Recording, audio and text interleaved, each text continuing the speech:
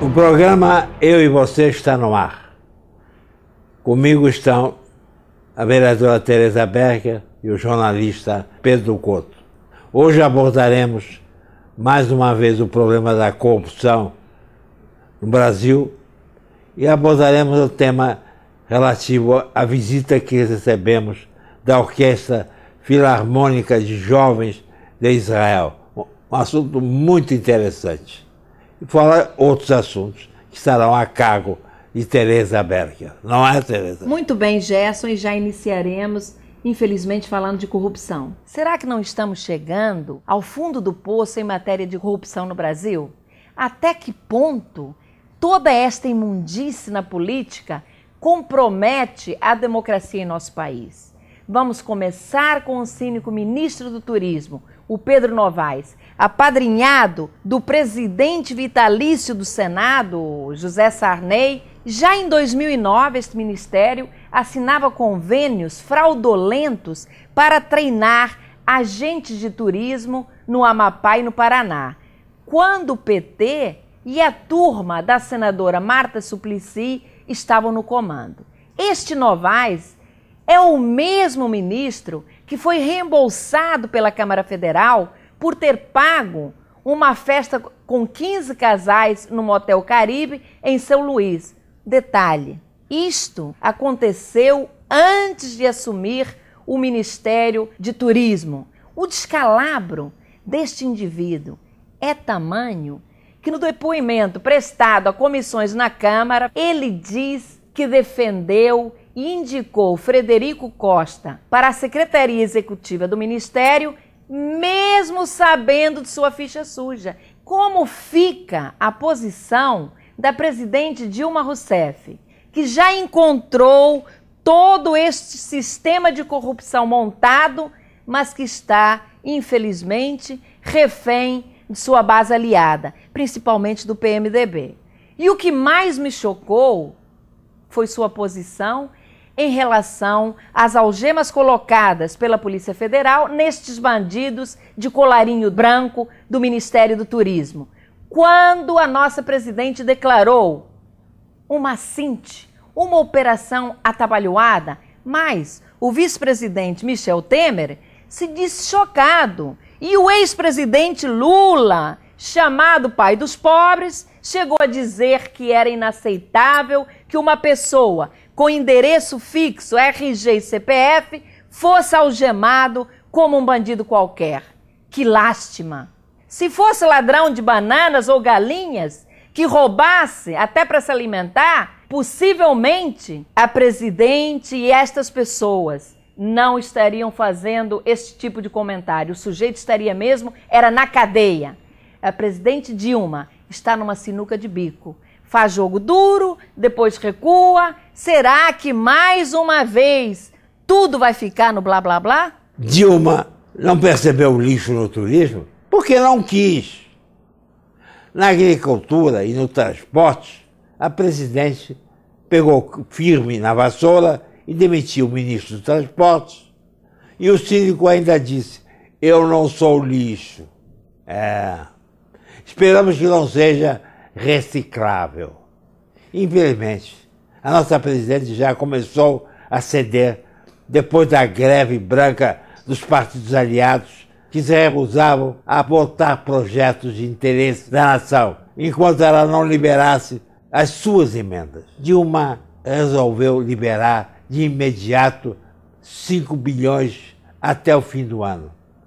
A satisfação dos parlamentares foi tamanha que o líder do PMDB na Câmara era só elogios a Dilma, sugerindo que ela lhe devolvesse o bambolê dado por ele quando ela era ministro do governo Lula, num sinal de que ela agora, com essas decisões, tem jogo de cintura na política. Presidente, a democracia não será aperfeiçoada com a liberação dessas verbas atendendo às emendas desse bando pois, pelo contrário, o dinheiro abre portas com as fechaduras mais emperradas.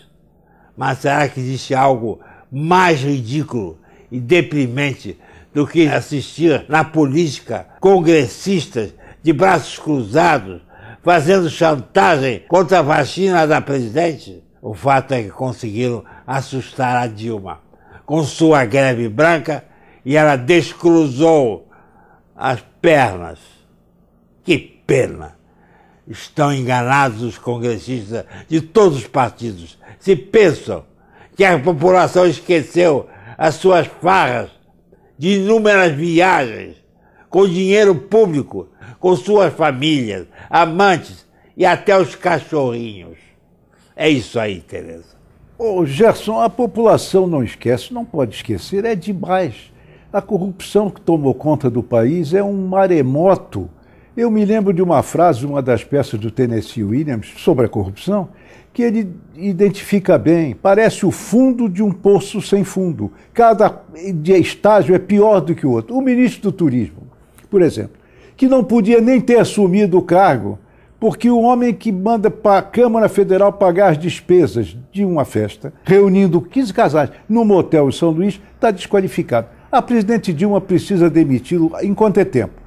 Porque é preciso não esquecer, sobretudo, que temos pela frente a Copa do Mundo, a Olimpíada de 16 e o turismo é uma parte vital dessas duas, desses dois eventos. Olha, Gerson e Pedro, lembrando o futebol, haja banco de reserva para substituir ministro neste governo. Só que nós esperamos que daqui para frente a seleção desses ministros obedeça a outros critérios. Senão, não sei onde vamos parar com tanta corrupção. E ainda falando de coisas negativas, de coisas ruins, muito rapidamente comentaremos o assassinato de uma juíza corajosa, uma mulher lutadora, guerreira, fazia questão de cumprir a justiça. Patrícia Acioli, que foi assassinada em Niterói, ela era juíza de São Gonçalo. A investigação ainda está em andamento, não sabemos o que poderá acontecer daqui para frente, mas uma coisa é muito clara: faltou segurança a esta mulher. Houve pouco interesse da justiça em dar proteção a alguém que vinha sendo ameaçado há tanto tempo, isso está muito claro. O seu advogado, inclusive, trouxe a público um documento da juíza em que ela pedia segurança e essa segurança lhe foi negada. É lamentável mas, minha gente, para desanuviar todo esse clima pesado, vamos falar de música, que é o melhor remédio para aliviar nossa mente e os problemas do nosso dia a dia. E hoje não poderia deixar de parabenizar e agradecer ao Beit Lubavitch por ter trazido ao Teatro Municipal a Orquestra Jovem da Filarmônica de Israel, formada na Escola de Música Burman da Universidade Tel Aviv, e dirigida pelo maestro Zev Dorman, tendo como solista Petri Livonen. Foi uma noite inesquecível. O público aplaudiu entusiasticamente estes jovens concertistas, muito especialmente a atuação esplêndida do solista Livonen. Israel está de parabéns por possuir esta belíssima orquestra que é consequência do seu grande investimento na arte, na cultura e na música. O nosso deputado ficou assim entusiasmado com o concerto e, por sinal, foram três peças muito bem escolhidas que por mais de uma vez o levaram às lágrimas. Muito emocionante, não é, Gerson? Olha, Tereza, sensacional. Eu te digo, se eu tivesse sido o autor da iniciativa em trazer essa maravilhosa orquestra, além do orgulho que sentiria, iria me empenhar no máximo na divulgação do evento e proporcionar um número maior de pessoas à noite inesquecível que foi a segunda-feira. O que mais nos sensibiliza e emociona é saber que o povo judeu, considerado o povo do livro, é também o povo da música. O judaísmo, desde os primórdios, a música está em seus cultos. E os instrumentos musicais eram tocados, por exemplo, durante as batalhas, em procissões, funerais, no templo e nas sinagogas.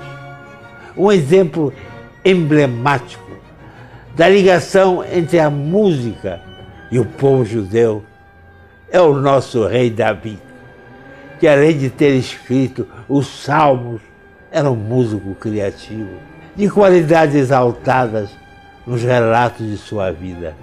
Mas para finalizar, e como informação, a Orquestra Filarmônica de Israel foi fundada há quase 75 anos, antes mesmo da criação do Estado de Israel.